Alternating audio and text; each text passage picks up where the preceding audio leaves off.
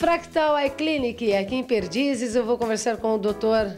Gerson Weiner, ele que é médico oftalmologista, sobre a importância de um exame completo oftalmológico em crianças, Dr. Weiner. O exame oftalmológico em crianças, mais precocemente possível, é importante para podermos identificar problemas que podem ser determinantes na visão dessa criança no futuro. Uma catarata, um glaucoma, um tumor.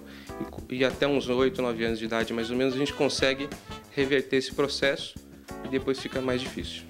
Mais informações através do telefone 38736000 ou até mesmo através do site www.fecsp.com.br.